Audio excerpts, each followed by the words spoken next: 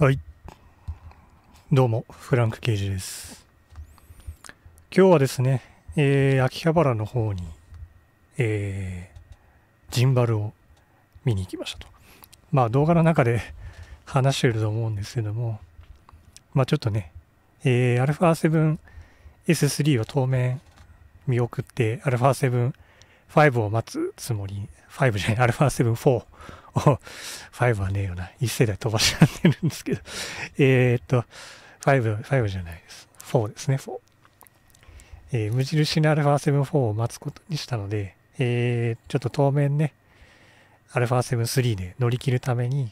まあ、やっぱりね、そろそろこう、ちょっと欲が出てきてですね、えージンバル欲しいな、なんて思っちゃってですね。まあ、ジンバルって何っていう人のために話しておくと、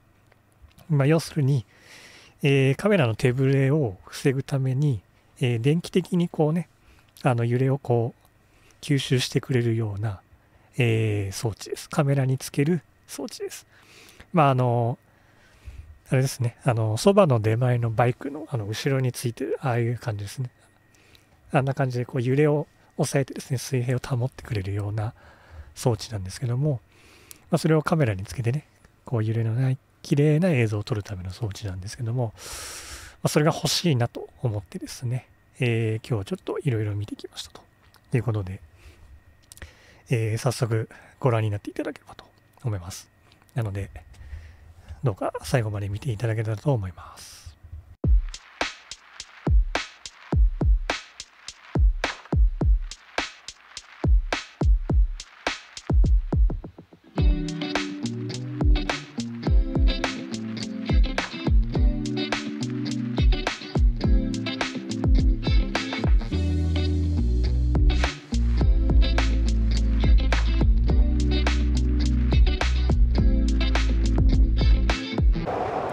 さあ今日は秋葉原にジンバルを見に来ました。多分秋葉なら欲しいジンバルがあるだろうなと思ってとりあえずお触りに来ました、えージンバル触ってどれ買おうか選ぼうと思います。さあ秋葉で、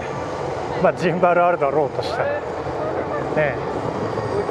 秋葉原ヨード橋カメ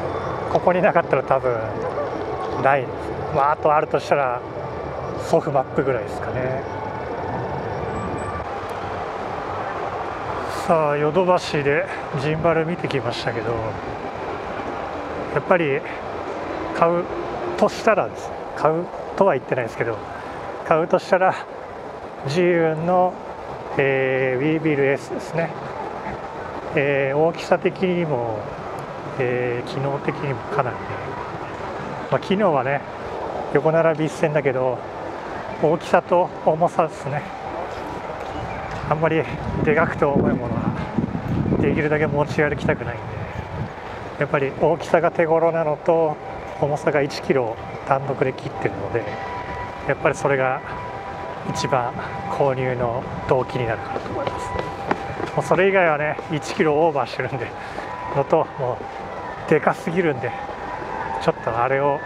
日々持ち歩きたいとは思わない。まあ、まあ、置いてあったのは w ービルラブで w ービル S じゃなかったんですけどほぼほぼまあ同じだから多分大丈夫だと思います。なので、えーお金が入ったら w ービル S を買いたいなっていう話です。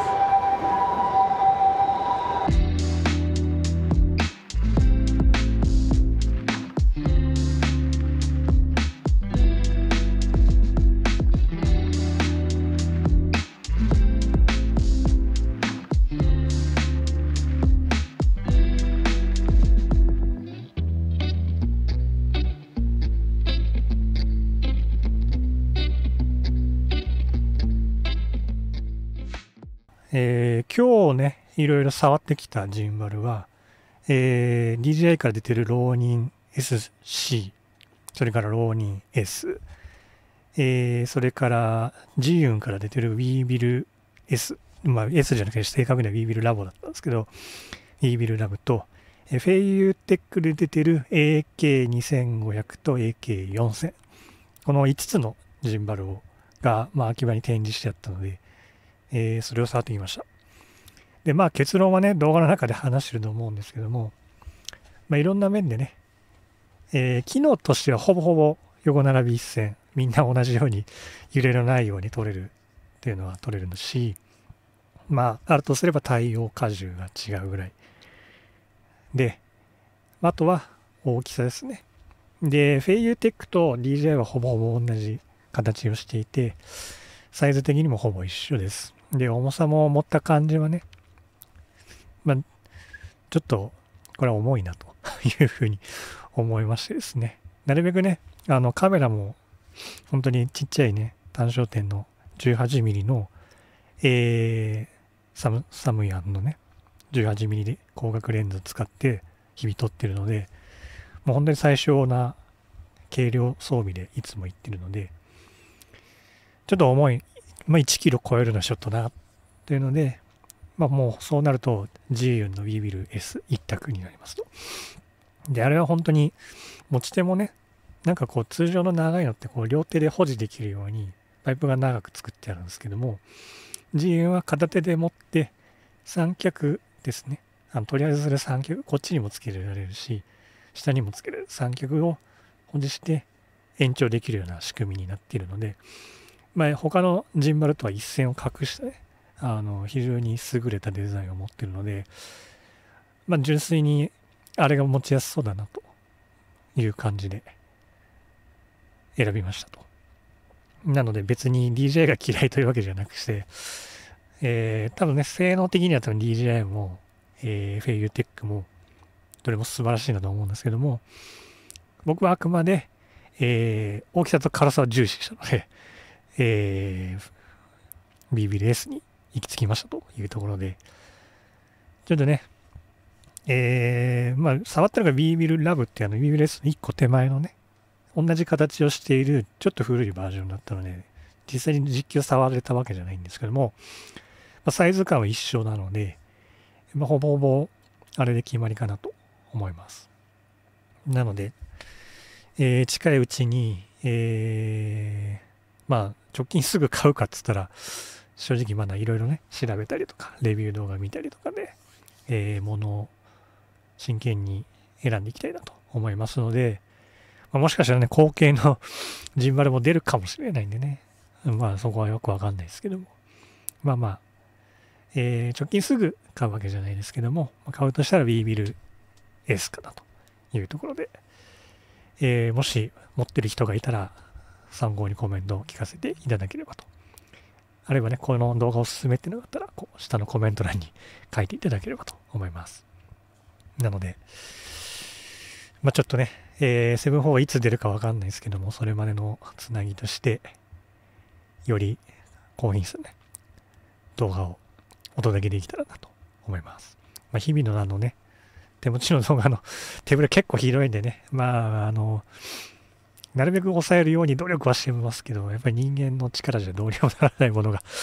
やっぱあるかなと思うので、えー、ちょっとジンバルチャレンジしたいなと思いますので、えー、まあ皆さん、どんなジンバル使ってるかわからないですけども、まあ、ちょっとね、えー、一応、ローニー SC とフェイユーテックの2500はちょっとね、まだ気持ち揺れてるんで、あれもほら、ハンドルのアタッチメントつければ同じような持ち方ができるので、ちょっとね、その辺、いろいろコメントで聞かせてもらえたらなと思いますので、えー、どうぞよろしくお願いします。で、今後もいろいろ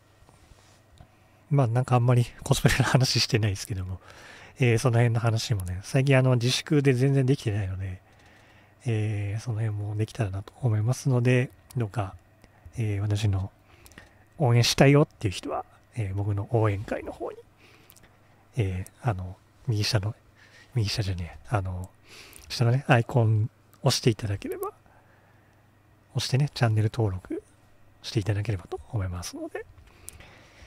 えー、どうぞよろしくお願いします。というわけで今日はこの辺でお別れです。また次の動画でお会いしましょう。バイバイ。